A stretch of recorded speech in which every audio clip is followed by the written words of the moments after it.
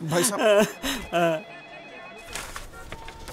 इसका क्लेम आपका एजेंट तो बीनू था ना? मतलब? वो तो छोड़ गया। क्या? भाई बीनू हो ना हो पर हम आपके लिए मौजूद हैं सात हज़ार से भी ज़्यादा लोकेशंस में। तो हुए ना डबल शो